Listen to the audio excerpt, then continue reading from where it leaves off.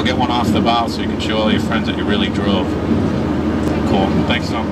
Yeah, 21,200 duck boats were built from 1942 until 1945. They were designed by a company called Sparkman and Stephens, and they were manufactured by General Motors Corporation up in Pontiac, Michigan. Now, you know who built the duck boats? I'll give you a hint. While the gentlemen were overseas fighting in the war, who was at home?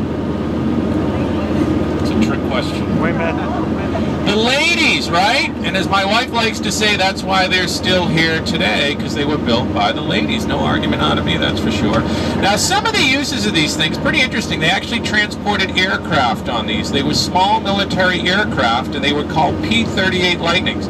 Now, how it would work was, there was no canopy above your head. How it would work was, with the use of a crane, they would lower the aircraft. They'd put one of the wheels of the aircraft on one duck boat, and then they'd put the other wheel of the aircraft on another duck boat, and then they'd just drive the aircraft to shore. They also used to transport bombs, big ones, four 1,000 pound bombs, and the duck boats were also used as makeshift pontoon bridges. And what I mean by that is, say for example, they had heavy equipment on that side of the land, and they needed to get it to that side of the land. The solution was pretty simple, line the duck boats up side by side, and then drive the heavy equipment right on over. So they thought of everything when they designed these things.